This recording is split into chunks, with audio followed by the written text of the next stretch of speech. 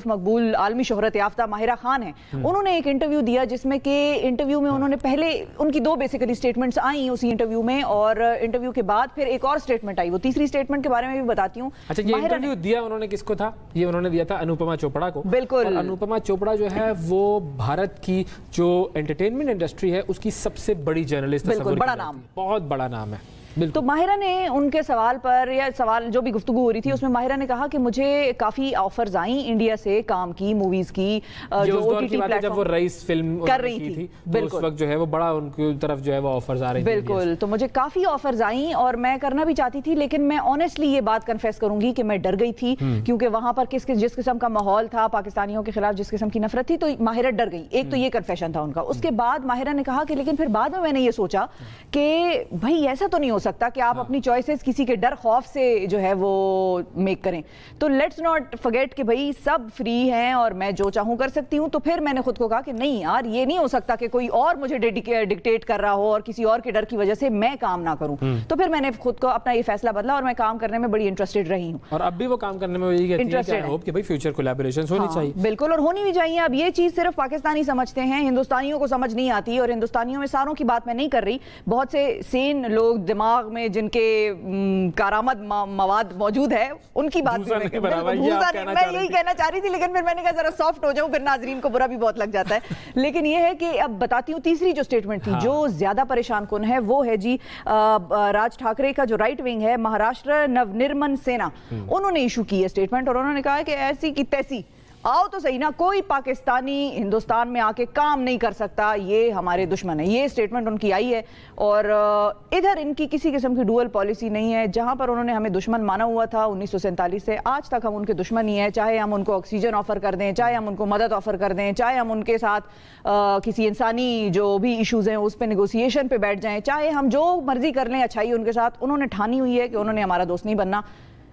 ये ही सिलसिला अच्छा ये जो है। नवनिर्मल सेना है हाँ जी। ये बेसिकली राज ठाकरे साहब ये बाल ठाकरे की बाल ठाकरे को लेकर चल रहे हैं और इनकी बहुत सारी हरकतें हमारे सामने पहले भी आ चुकी हैं क्योंकि ये वो लोग हैं कि जो कि पाकिस्तानी फनकारों को जदोकोब करते रहे हैं तशद्दुद करते रहे हैं जो फनकार वहाँ पर गए हैं उनको डराया, धमकाया गया हाँ, है। मतलब मारा गया है फिजिकली असोल्ट किया गया है उनको इसके अलावा क्रिकेट मैचेस पर इनका हमेशा से एतराज़ रहा है पाकिस्तान की टीम वहाँ पर क्रिकेट मैच खेलने जा रही थी इन्होंने पिचें खोद दी थी जी स्टेडियम की कि मैच नहीं होने देंगे इस कदर ये extremist extremist right wing organisation है और हाँ, तो एक क्रेडिट मैं ज़रूर उनको दूँगी कि उनकी इस मामले में कोई डुअल पॉलिसी नहीं है लेकिन वेस्ट की दोबारा इधर भी डुअल पॉलिसी है। यहाँ पर उनकी भी डुअल पॉलिसी है कि हिंदुस्तान वो वो नहीं है वो जो होता है ना कि हम आह भी भरते हैं तो हो जाते हैं बदनाम वो कत्ल भी कत्ल भी करते करते हैं। तो चर्चा नहीं होता उनके कत्ल भी किसी को नज़र नहीं आते और हमारी आहें भी जो है लोगों को परेशान कर देती अब हैं। तो आज़ाद शायरी की तरफ़ जो है आप जब मैं जज्बाती हो जाती हूँ ना फिर शायरी फिर मैं कुछ नहीं देखती। सही बात है गुड ये ये ये तो इस वक्त मुझे गुस्सा आया हुआ है। मतलब आप अंदाज़ा लगाएँ माहिरा अगर वहाँ काम कर रही हैं या फवाद वहाँ काम कर रहे हैं तो हमें तो प्रॉफिट कम हो रहा है हमारा अदाकार वहाँ जा रहा है उनका प्रॉफिट ज़्यादा हो रहा है। वो जो शाहरुख खान की भी फ़िल्म थी ना। हाँ वो थी बड़ी नहीं फ़िल्म तो चले कैसी भी हो लेकिन उसके पीछे भी मकसद था। उसके क्योंकि शाहरुख खान जो है उस वक्त जो है उनकी फिल्म्स पे दर पे फ्लॉप हो रही फ्लॉप हो रही थी वो एक डिक्लाइन की सूरत डिक्लाइन की उस पर थे। अब उन्होंने कहा कि जी मार्केट कैप्चर करनी है तो मार्केट कैप्चर करने के लिए पाकिस्तान की मार्केट जो है वैसे भी उनके पास है तो सही वो मार्केट लेकिन उन्होंने कहा कि मजीद इस मार्केट को कैप्चर करने के लिए जो है मायरा खान को बिल्कुल। इस्तेमाल करते हैं और उनको जो है वो अपनी फ़िल्म में कास्ट करते हैं।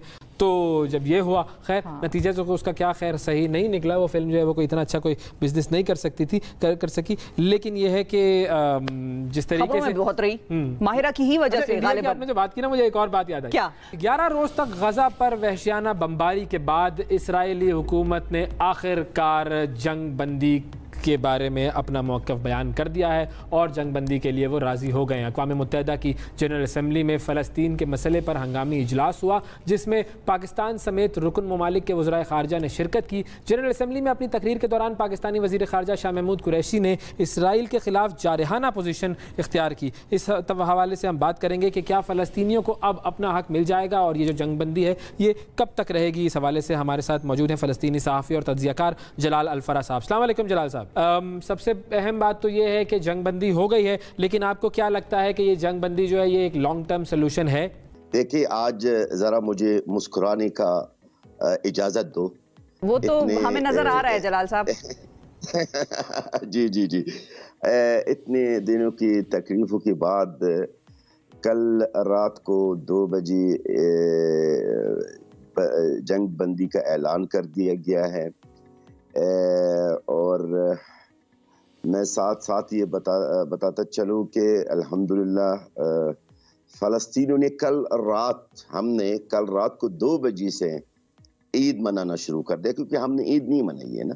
बिल्कुल। तो इतना दुख इतना दुख इतनी तकलीफ़ इतनी परेशानी की इतना गम के बावजूद भी जो हमें नुकसान हुआ है जो हमारे प्यारे शहीद हुए हैं जो जख्मी हुए हैं तो फिर भी हमने अल्हम्दुलिल्लाह रात को खुशियाँ आप यकीन करें मैं नहीं समझता को कोई फ़लस्तीनी सोया हूँ कल से।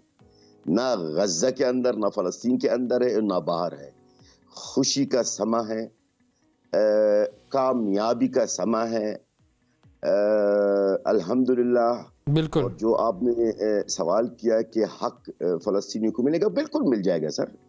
ये बड़ा जिद्दी कौम है ये अपना हक नहीं छोड़ेगा। लेकिन दुनिया से उम्मीद है आपको? दुनिया से उम्मीद है आपको? दुनिया से जो उम्मीद है चंद लोगों से उम्मीद और चंद ममालिक से उम्मीद है। वो कौन से ममालिक नहीं है। सबसे पहले number one Pakistan. Number one Pakistan मिस्र। हम्म। कल जो जंग बंदी हुई है उसमें फलस्तीनियों का हमारा ये कहना है एक क्रेडिट जाता है तो मिस्र को जाता है और पाकिस्तान को जाता है।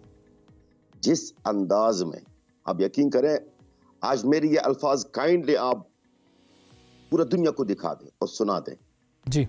मैं इमरान खान साहब को ये बात बताना चाहता हूँ कि इमरान खान साहब मैंने आपको एक लकब दिया है। वो लकब ये है कि आप इस जमाना का अर्तुगरुल आलमी इस्लाम का हीरो है।